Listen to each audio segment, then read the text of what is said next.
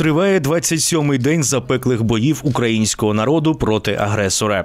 Від численних обстрілів та бомбардувань вже постраждало чимало мирних громадян, в тому числі і найменших мешканців. За останній час до Запорізької обласної дитячої лікарні було госпіталізовано 8 дітей. Наразі четверо з них у вкрай важкому стані. У нас на сьогоднішній час є чотири важкі дитини, е, які знаходяться в відділенні реанімації. Четверо дітей е, знаходяться в відділенні хірургії. Тобто вони вже не потребують такої інтенсивної терапії, як е, була. Діти, які знаходяться сьогодні, це перша дівчинка з ампутацією кінцівки.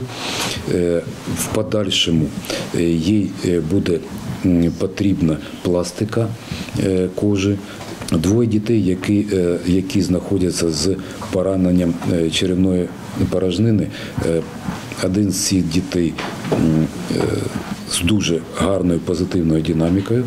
Хлопчик уже п'ятий день в нас знаходиться. А хлопчик, хлопчик, який поступив до нас учора, поки ну, прогнозу не хочеться давати, бо стан у нього важкий. До Запоріжжя з різних регіонів України госпіталізують дітей, які отримали важкі травми внаслідок ворожих обстрілів та були поранені під час евакуації. Е, Вчора до нас поступило троє дітей. Е, Один хлопчик поступив до нас е, по етапу еваку- евакуації через обласну дорослу лікарню.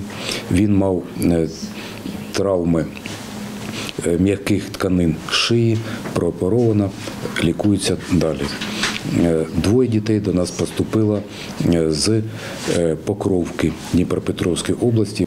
Поступила е, дівчинка, яка мала е, ураження, осколкові ураження м'яких тканин, також прооперована, е, осколки видалені, е, продовжує лікування.